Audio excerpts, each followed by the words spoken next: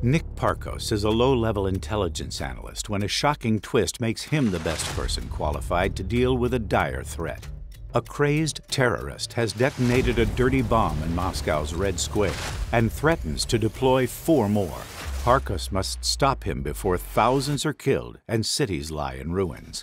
Amber Dawn is a cautionary tale describing how the world can unravel in the blink of an eye. Get Amber Dawn before it's too late.